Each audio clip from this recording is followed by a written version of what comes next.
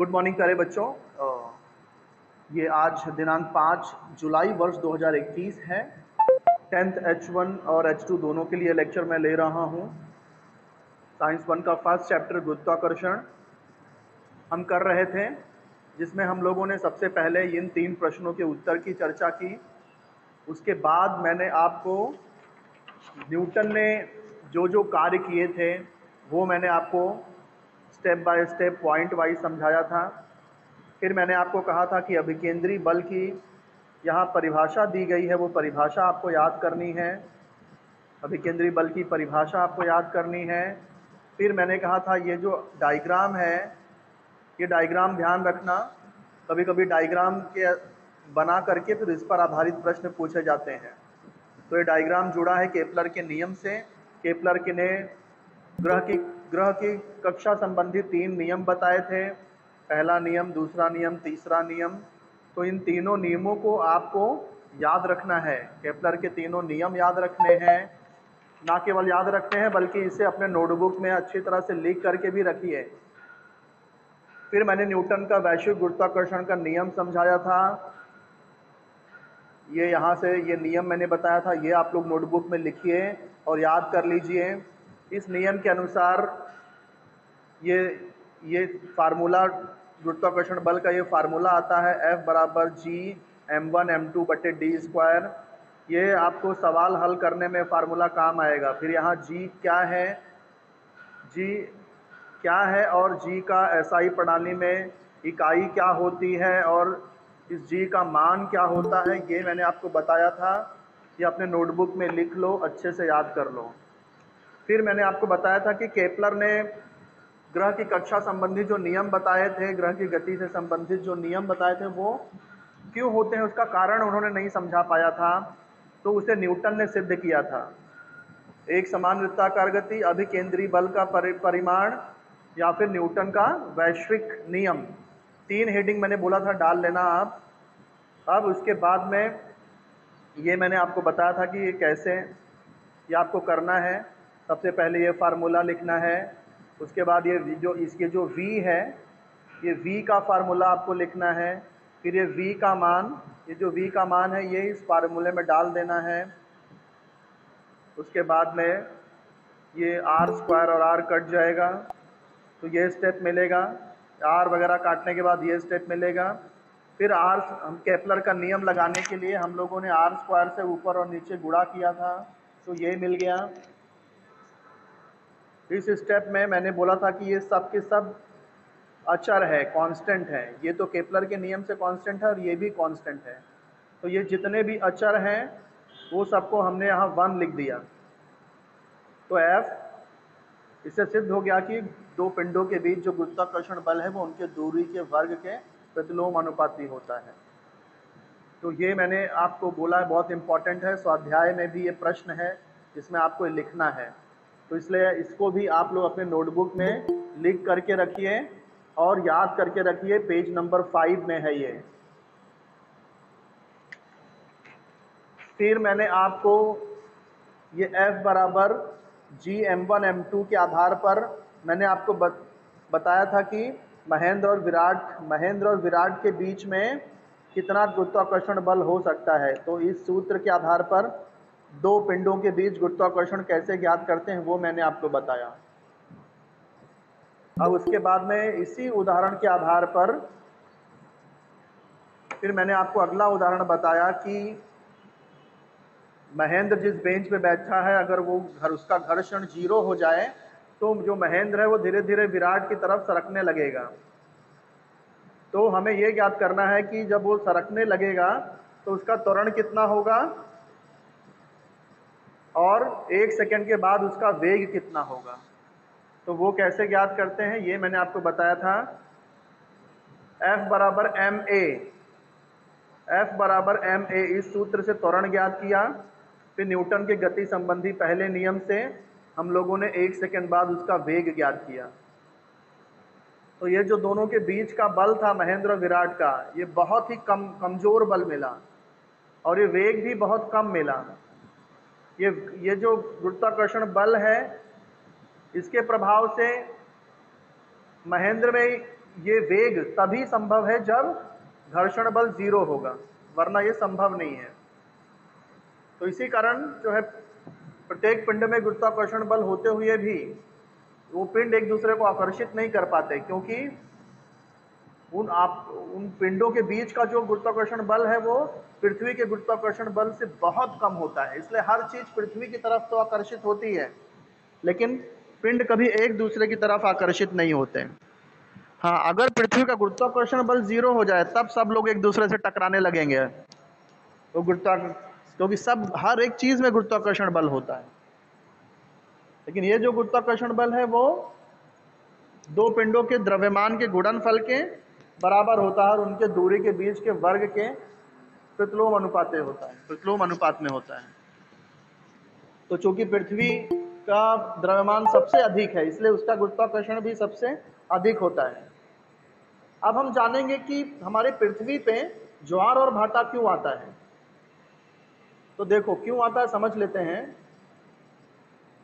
हम जानते हैं हमारे पृथ्वी का एक उपग्रह है जो, जिसे हम लोग चंद्रमा कहते हैं, चंद्रमा। तो ये जो चंद्रमा है, ये हमारे पृथ्वी का चक्कर लगाता है। हमारे पृथ्वी की परिक्रमा करता है। लेकिन जैसा कि हमने केपलर के नियम में देखा था कि ग्रह या उपग्रह की जो ये कक्षा होती है, परिक्रमा का जो मार्ग होता है, वो दीर्घ वृत्ताकार होता है। दीर्घ वृत्ताकार होने की वजह से क्या होता है कि चंद्रमा कभी पृथ्वी के नज़दीक आएगा और कभी ये पृथ्वी से दूर हो जाएगा। तो जब ये चंद्रमा पृथ्वी के नज़दीक आएगा तो इस तो हमने बताया इसमें न्यूटन के वैश्विक गुरुत्वाकर्षण के नियम में देखा था कि जो गुरुत्वाकर्षण बल है वो दूरी के वर्ग के प्रतिलोम अनुपाती होता है। यानी दूरी जितनी कम रहेगी, गुरुत्वाकर्षण बल उतना ज़्यादा हो जाता है। तो चंद्रमा जब पृथ्वी के नज़दीक आता है घूमते घूमते तो चंद्रमा और पृथ्वी के बीच का गुरुत्वाकर्षण बल बढ़ जाता है, दूरी कम होने की वजह से। इसलिए जो समुद्र का जो जल है वो चंद्रमा की तरफ़ आकर्षित होता है। और इसलिए ज्वार की स्थिति आती है। हाई टाइड जिसको बोलते हैं। हाई टाइड आ जाता है, ज्वार की स्थिति आ जाती है।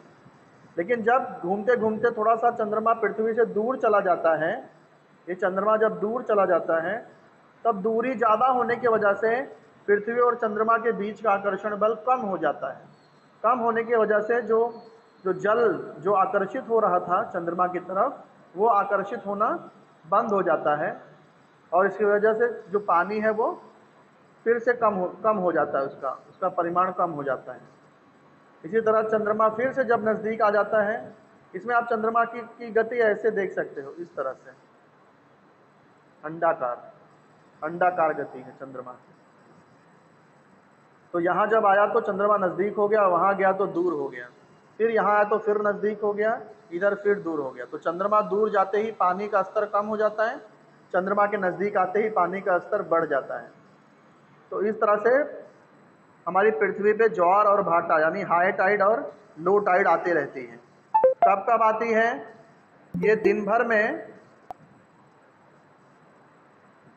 समुद्र के जो पानी का स्तर है, दिन भर में नियमित समयावधि के बाद दो बार बढ़ता है और कम होता है। यानी दो बार हाई टाइड आएगी दिन में और दो बार लो टाइड क्यों होता है ये? समुद्र के जल का स्तर चंद्रमा के गुरुत्वीय बल के कारण बदलता है। इस बल के कारण चंद्रमा की दिशा में स्थित पानी ऊपर उठता है चंद्र और फिर ज्वार आता है। तो ये आप समझ गए होंगे कि हमारे पृथ्वी पे ज्वार और भाटा, यानी हाई टाइड और लो टाइड क्यों आता है। तो ये हो गया आपका हाई टाइड लो टाइड क्यों आता है? अब हम लोग महेंद्र वाला जो उदाहरण कर रहे थे, महेंद्र और विराट, उसी उदाहरण को आगे बढ़ाते हैं। हमने पिछले उदाहरण में देखा कि महेंद्र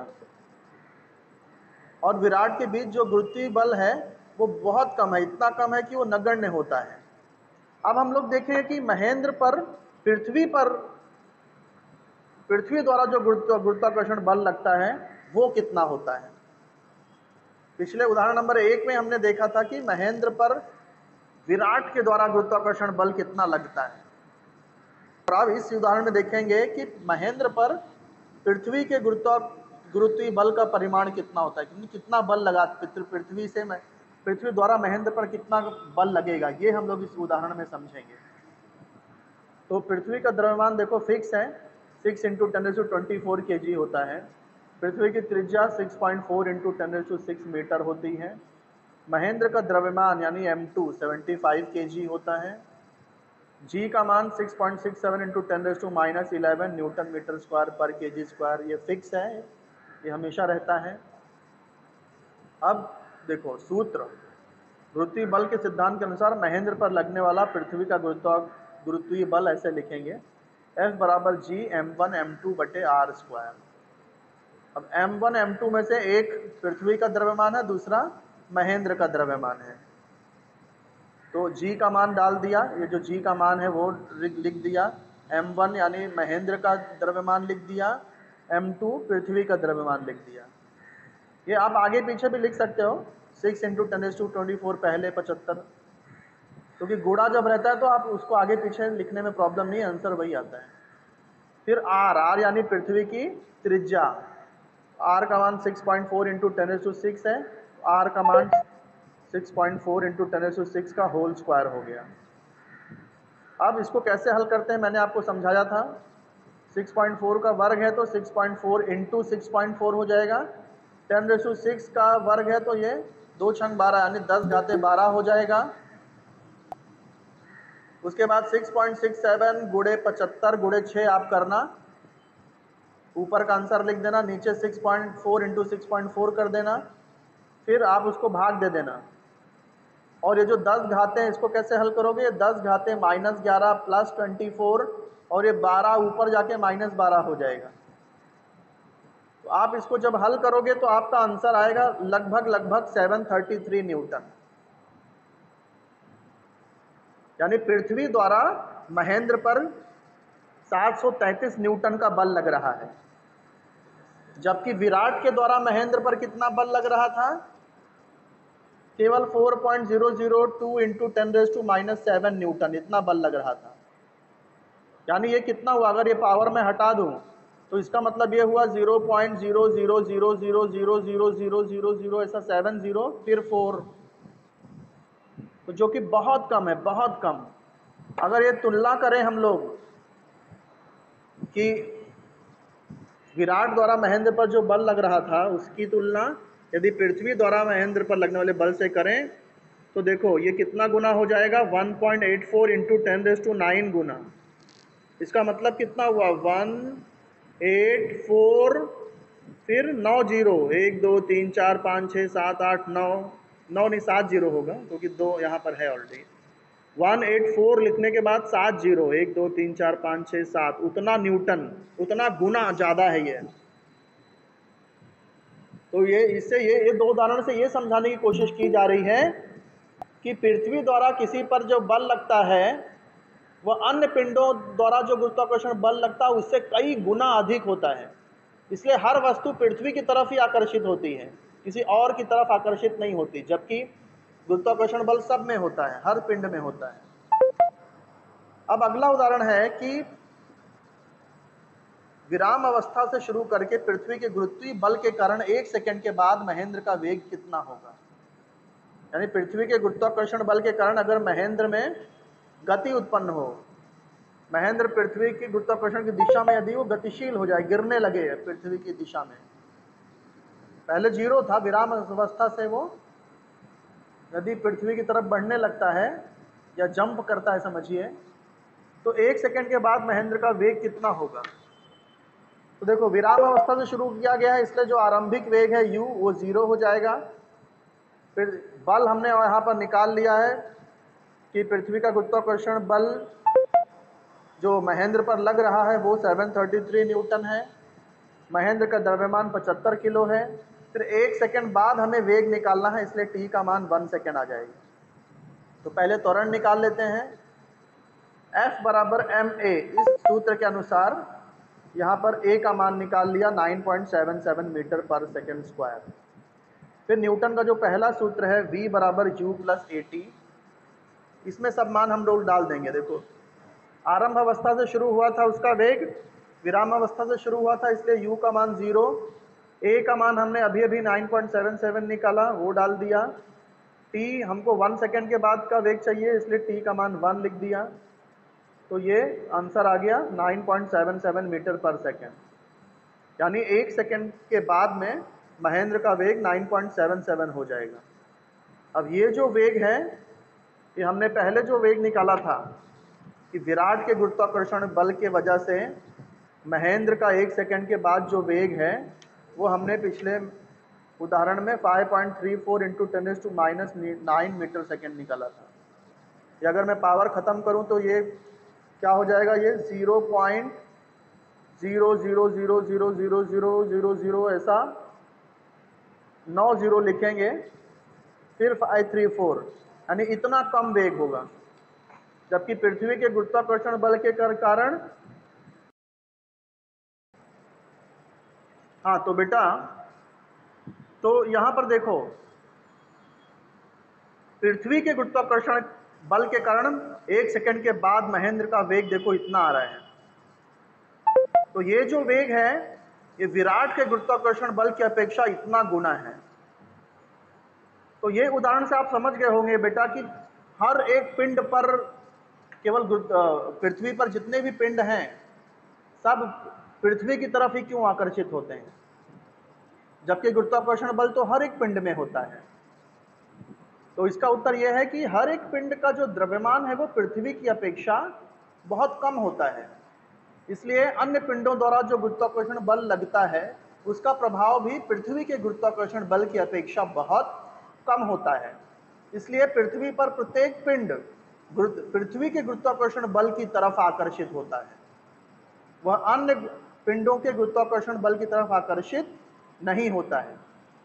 इसलिए देखो को आ, कोई किसी पेड़ से जब कोई फल गिरता है तो वह सीधा पृथ्वी की दिशा में ही आता है। वह कोई और दिशा में क्यों नहीं जाता? क्योंकि पृथ्वी पर सबसे अधिक द्रव्यमान पृथ्वी का ही है। और हमने पढ़ा था कि दो पिंडों के द्रव्यमान का गुणनफल जितना ज़्यादा होगा उनके बीच गुरुत्वाकर्षण बल भी उतना ज़्यादा ही ज़्यादा होगा। तो पृथ्वी का द्रव्यमान और सेब का द्रव्यमान का गुणनफल बहुत ज़्यादा होता है। इसलिए जो सेब या कोई भी फल जब पेड़ से टूट के गिरता है तो पृथ्वी की तरफ़ ही गिरता है। क्योंकि दोनों का द्रव्यमान का गुणनफल अधिक होने के कारण उनके बीच का जो गुरुत्वाकर्षण बल है, वह भी सबसे अधिक होता है। तो देखो, यहाँ पर पूछा भी गया है कि थोड़ा सोचिए में, थोड़ा सोचिए में देखो, एक सवाल पूछा है कि न्यूटन के सिद्धांत के अनुसार प्रत्येक पिंड प्रत्येक अन्य पिंडों को आकर्षित करता है। हर पिंड हर दूसरे पिंड को आकर्षित करता है। अर्थात पृथ्वी सेब को अपनी ओर आकर्षित करती है। इसी प्रकार सेब भी पृथ्वी को उतने ही बल से अपनी ओर आकर्षित करता है। फिर सेब पृथ्वी पर क्यों गिरता है? पृथ्वी सेब पर क्यों नहीं सरकती? तो इसका कारण यह है कि पृथ्वी का द्रव्यमान अधिक होने के कारण पृथ्वी के गुरुत्वाकर्षण बल का प्रभाव अधिक होता है। जबकि सेब का द्रव्यमान कम होने के कारण सेब के गुरुत्वाकर्षण बल का प्रभाव पृथ्वी के गुरुत्वाकर्षण बल के प्रभाव की तुलना में बहुत कम होता है। इसलिए पृथ्वी सेब को खींच सकती है, लेकिन सेब पृथ्वी को नहीं खींच सकता। इसलिए जब सेब पेड़ से टूट के गिरता है तो वह पृथ्वी की तरफ़ ही गिरता है। तो ये बात आप समझ गए होंगे। अब आगे देखिए देखते हैं। देखो तो जब आप ऊपर देख रहे हो कि सेब को पृथ्वी खींच लेती है तो प्रश्न उठता है कि वे चंद्रमा को क्यों नहीं खींच पाती? जो हवाई जहाज़ जो उड़ता है, उसको क्यों नहीं खींच पाती? जो पक्षी जो उड़ते हैं, पृथ्वी इसको क्यों नहीं खींच पाती? तो इसका उत्तर यह है बेटा कि उनमें वेग होता है। जो पिंड में वेग होगा ना, पृथ्वी उसको नहीं खींच पाएगी। लेकिन यह वेग पृथ्वी के गुरुत्वाकर्षण की दिशा में नहीं होना चाहिए। जैसे हवाई जहाज़, पक्षी, चंद्रमा, ये सब गतिशील हैं, वेगवान हैं, गति है इनमें। इसके कारण पृथ्वी इन्हें आकर्षित नहीं कर पाती। देखो यहाँ पे दिया है, चंद्रमा और कृत्रिम उपग्रहों की, उनकी कक्षाओं में वेग के कारण होता है। यदि वेग नहीं होगा तो ये भी पृथ्वी पर गिर गए होते हैं। तो ये हवाई जहाज़ हो गया, पक्षी हो गया, ग्रह हो गए, फिर ये उपग्रह हो गए कृत्रिम उपग्रह हो गए, ये सब गतिशील होते हैं। गतिशील होने के कारण पृथ्वी के गुरुत्वाकर्षण बल का इन पर प्रभाव नहीं पड़ता। अगर इनका वेग रुक जाए, तब ये भी पृथ्वी पर गिर जाएँगे। तो ये प्रश्न आपसे पूछा जा सकता है कि कृत्रिम उपग्रह या हवाई जहाज़, पक्षी, इन पर भी गुरुत्वाकर्षण बल का प्रभाव क्यों नहीं पड़ता पृथ्वी के? तो वो है इनके वेग के कारण। अब हम शुरू करेंगे अगला टॉपिक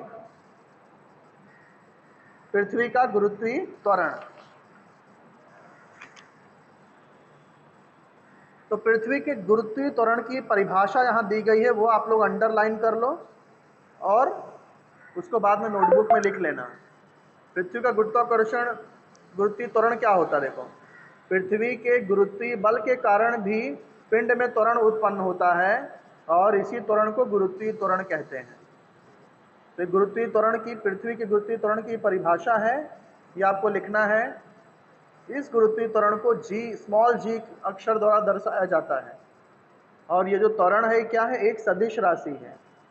सदिश राशि का मतलब सदिश राशि उसे कहते हैं जिसमें परिमाण भी हो हो और दिशा भी हो। जैसे कोई त्वरण में दिशा होती है ना, कोई पिंड ऊपर की तरफ़ जा रहा है तो उसका त्वरण ऊपर की तरफ़ होगा। कोई पिंड नीचे गिर रहा है तो उसका त्वरण नीचे की तरफ़ होगा। गाड़ी, मोटर ये सब आगे की तरफ़ भागती है तो उसका जो त्वरण है वो आगे की तरफ़ होगा। यदि कोई गाड़ी रिवर्स हो रही है, पीछे आ रही है तो उसका त्वरण पीछे की तरफ़ होगा। उसके त्वरण की दिशा पीछे होगी। तो त्वरण में दिशा भी होती है, इसलिए वह एक सदिश राशि है। पृथ्वी के गुरुत्वीय त्वरण की दिशा कहाँ होती है? उसके गुरुत्वीय बल के जैसे ही पृथ्वी के केंद्र की ओर होती है। जैसे पृथ्वी का गुरुत्वाकर्षण जो बल है, वो पृथ्वी के केंद्र की ओर होता है उसकी दिशा। ऐसे ही गुरुत्वीय त्वरण की भी दिशा पृथ्वी के केंद्र की ओर होती है। तो ये सब रिक्त स्थान में पूछा जा सकता है। गुरुत्वीय त्वरण की दिशा डैश होती है तो पृथ्वी के केंद्र की ओर होती है। फिर यदि पृथ्वी का गुरुत्वाकर्षण ना होता तो क्या होता? पृथ्वी का गुरुत्वाकर्षण ना होता तो हम लोग पृथ्वी पर रह ही नहीं पाते। हमको कोई और पिंड ग्रह आकर्षित कर लेता। किसी और ग्रह पे हम जाके गिर जाते हैं। फिर यहाँ पे पृथ्वी पर सारी वस्तुएँ टकराने लगती है एक दूसरे से। क्योंकि तो फिर अन्य पिंडों का गुरुत्वाकर्षण बल कार्य कर रहा होता है। हाँ बेटा बोलो। क्या? यहाँ पर सवाल पूछा है किसी ने कि गुरुत्वीय त्वरण क्या होता है? तो एक्चुअली यहाँ पर परिभाषा दी गई है, देखो, कि पृथ्वी के गुरुत्वीय बल के कारण पिंड में त्वरण उत्पन्न होता है। त्वरण का मतलब क्या होता है? त्वरण। जैसे कोई चीज़ जब ट्रेन जब चालू होती है, देखो तो वो पहले स्लो होती है, फिर धीरे धीरे उसकी स्पीड बढ़ती है बढ़ती है, बढ़ते जाती है। बाद में फिर एक ही स्पीड से जाने लगती है। तो ये जो स्पीड जो धीरे धीरे स्पीड का धीरे धीरे बढ़ना या स्पीड का धीरे धीरे कम होना, इसे त्वरण कहते हैं। जब आप देखो कोई चीज़ जब ऊपर फेंकते हो, ज़ोर से बल लगा करके ऊपर फेंकते हो, ताकत लगा करके तो वो क्या होता है? वो ऊपर जाता है, लेकिन धीरे धीरे धीरे धीरे वो स्लो होता जाता है। तो यहाँ उसका वेग स्लो होता जा रहा है, इसका मतलब त्वरण धीरे धीरे कम होता जा रहा है। फिर जब वो नीचे आने लगता है, तब क्या होता है? धीरे धीरे उसका वेग बढ़ने लगता है। इसका मतलब त्वरण उसका बढ़ रहा है। तो देखो, जब ऊपर गया तो आपके बल, आपने जो बल लगाया था उसके कारण पिंड में त्वरण उत्पन्न हुआ, ऊपर जाते टाइम। लेकिन जब नीचे आ रहा है तो तो पृथ्वी के गुरुत्वाकर्षण बल के कारण उस पिंड में त्वरण उत्पन्न हो रहा है। तो इस तरह से पृथ्वी के गुरुत्वाकर्षण बल के कारण पिंड में जो त्वरण उत्पन्न होता है, उसे ही गुरुत्वीय त्वरण कहते हैं। समझे बेटा? हाँ। अब ये जो हाँ अब ये जो गुरुत्वाकर्षण त्वरण है, इसे स्मॉल जी अक्षर से दर्शाया जाता है। और एक सदिश राशि है, क्योंकि इसमें दिशा होती है कि ऊपर की दिशा, नीचे दिशा, दाएँ, बाएँ, आगे, पीछे, ऐसी दिशा होती है त्वरण में। इसलिए एक सदिश राशि है। इसकी दिशा कहाँ होती है? त्वरण जो गुरुत्वीय त्वरण की जो दिशा होती है, वो पृथ्वी के केंद्र की ओर होती है। और ये लंबवत लंबवत होता है, क्षैतिज के लंबवत दिशा में होती है। क्षैतिज मतलब आपका जो आकाश है, आकाश के लंबवत। जैसे ये आपका आकाश है तो ऐसे लंबवत नीचे आती है। समझे आप? ये आकाश और ये लंबवत नीचे। ये क्षैतिज क्षैतिज यानी आकाश नहीं बोलो, इसको ऐसा बोलो, एक आड़ी रेखा। क्षैतिज यानी एक आड़ी रेखा और इसके लंबवत सीधा नीचे। तो यह है गुरुत्वीय त्वरण की दिशा। जी का मान उसके मान का यदि दुगना हो जाता तो क्या होता? देखो, जी का मान अगर दुगना हो जाएगा तो ये जो एफ़ है वो भी दुगना हो जाएगा।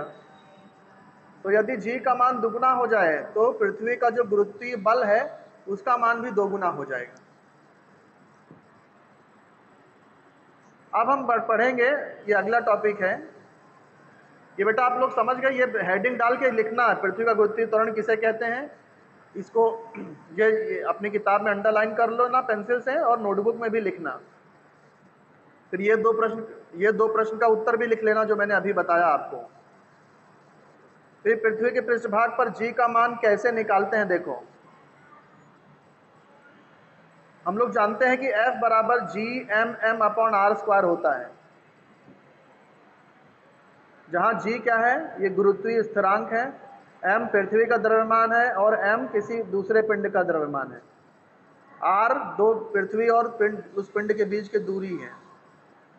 तो ये एफ़ का एक सूत्र है, दूसरा एफ़ का ये भी सूत्र होता है एफ़ बराबर एम जी ये हम लोग क्या कर रहे हैं? जी का मान निकालने जा रहे हैं। जी का मान कैसे आता है, कैसे निकालते हैं, वो सीख रहे हैं।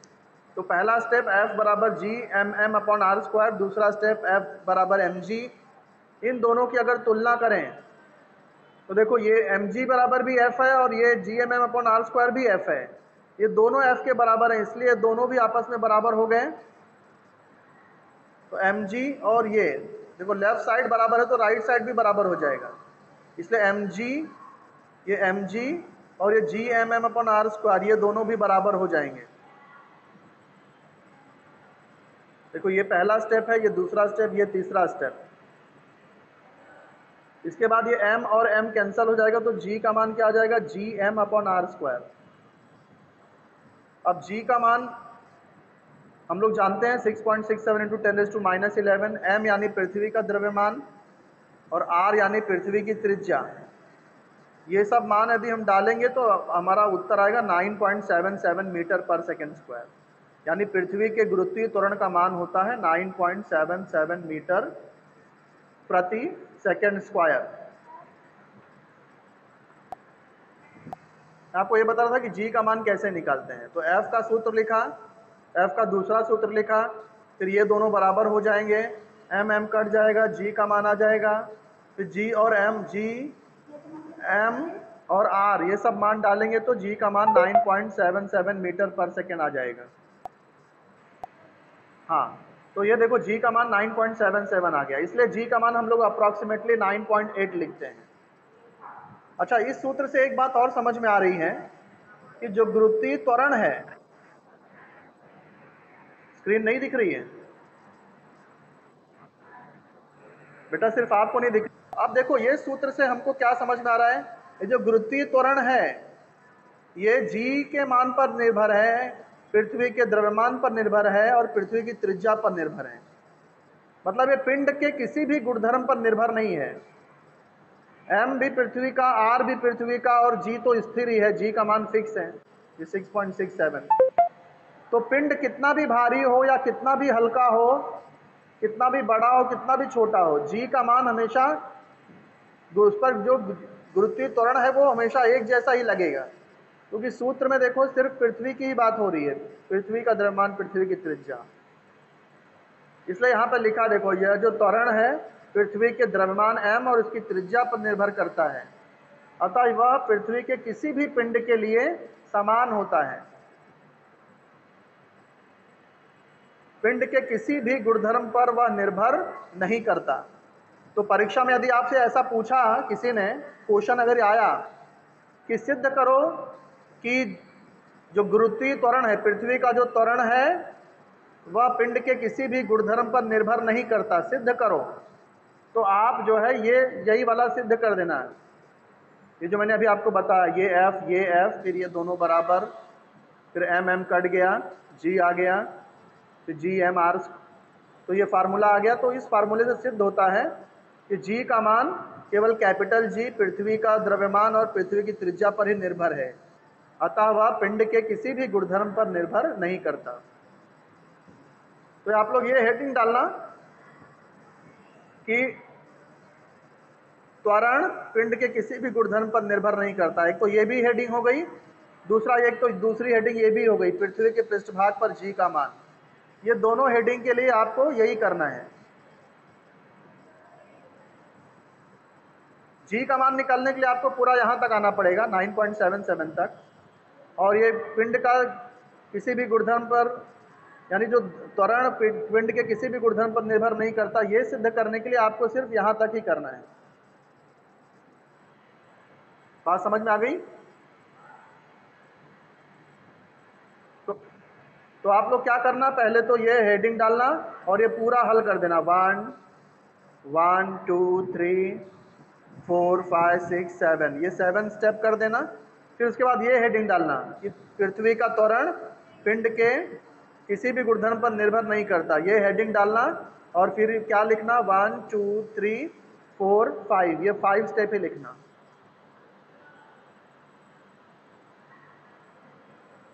हाँ। अब बताइए तो एक प्रश्न पूछा यदि पृथ्वी का द्रव्यमान दो गुना और त्रिज्या आधी होती तो स्मॉल जी का मान कितना होता? तो इसको कैसे करेंगे देखो। पृथ्वी का द्रव्यमान दो गुना होता।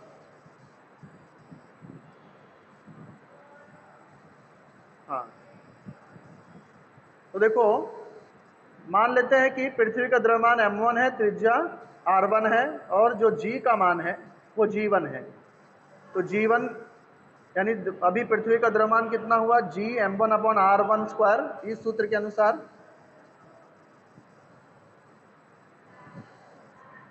अब जी टू मान लेते हैं कि बेटा सवाल क्या पूछा है कि पृथ्वी का द्रव्यमान अगर दो गुना हो जाए, जैसे पृथ्वी का द्रव्यमान m है और m के जगह पे अगर 2m हो जाए, सवाल पहले समझो।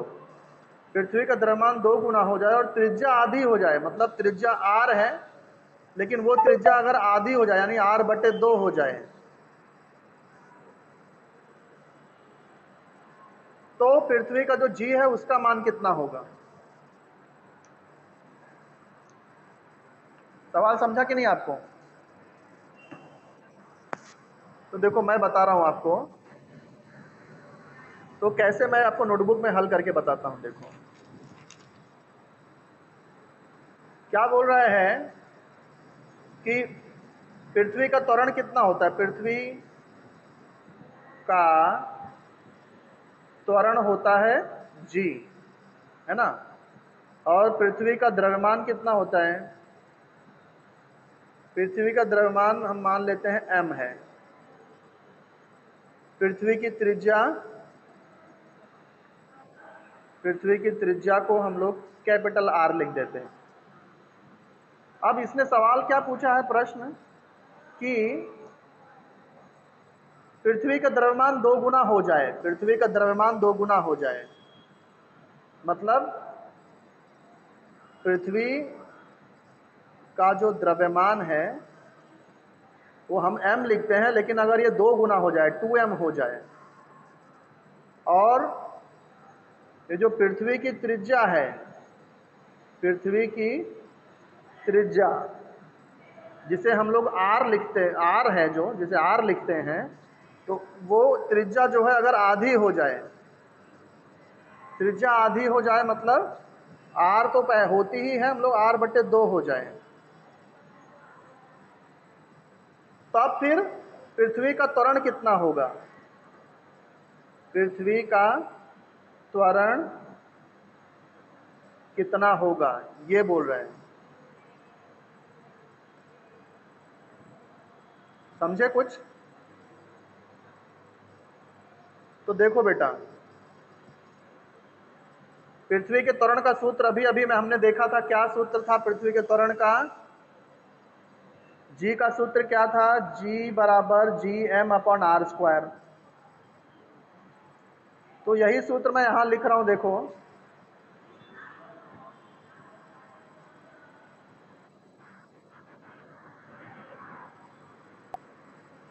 सबको मेरी आवाज़ तो देखो अब का मान में g का सूत्र क्या है? G बराबर G M upon R square मान लो नया वाला g है।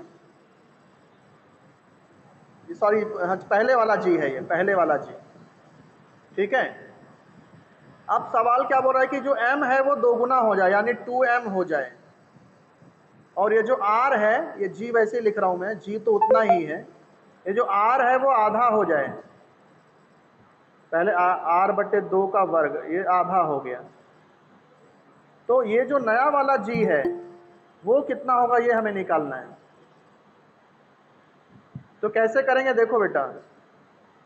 ये जी टू यहाँ पर क्या हो जाएगा? जी टू बराबर टू जी एम टू ये जी टू एम को मैं टू जी एम लिख रहा हूँ। बटे आर का वर्ग, ये हो गया आर का वर्ग। और ये हो गया बटे चार। बटे दो का वर्ग चार होता है तो बटे चार। यहाँ तक समझ गए होगे आप लोग? अब एक गणित, अब गणित के नियम के अनुसार ये चार यदि हम लोग हटाएँ यहाँ से तो ये कैसे हो जाएगा? ये देखो, ऐसे हो जाएगा ये जी टू बराबर, ये चार यदि आप यहाँ से जैसे ये ऊपर टू जी एम है नीचे आर स्क्वायर है। ये नीचे का चार अगर मैं हटा दूँ यहाँ से तो ये ऊपर जाके गुड़ा हो जाएगा। ये गणित का नियम है। क्या इसको आप ऐसे भी समझ सकते हो कि ये चार को काटने के लिए मैंने चार से गुड़ा किया? तो ऊपर भी चार से गुड़ा करना पड़ेगा। तो ये चार कट जाएगा, ऊपर गुड़े चार बचेगा।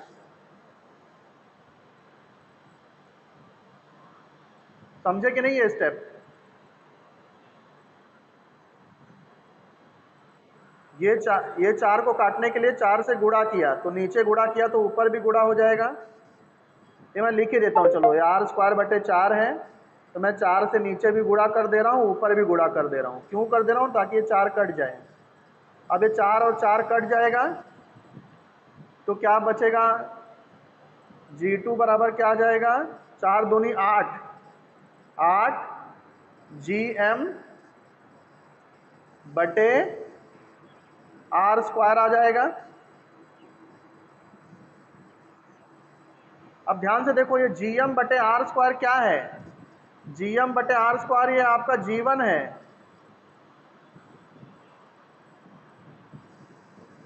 देख रहा हो, ये जी एम बटे आर स्क्वायर का मतलब जीवन हुआ। तो जी एम बटे आर स्क्वायर को हम लोग जीवन लिख सकते हैं, जीवन। तो जी टू बराबर क्या हो गया आठ, और ये अपना है जी वन तो इसका मतलब क्या हुआ कि ये जो गुरुत्वीय त्वरण है वो आठ गुना बढ़ गया। यदि पृथ्वी का जो द्रव्यमान है वो दो गुना हो जाए और पृथ्वी की त्रिज्या आधी हो जाए तो पृथ्वी का जो गुरुत्वाकर्षण होगा वो वो गुरुत्वीय त्वरण जो होगा वो आठ गुना बढ़ जाएगा। आठ गुना यहाँ आठ से गुना है ना, एट जीवन। कुछ समझे कि नहीं?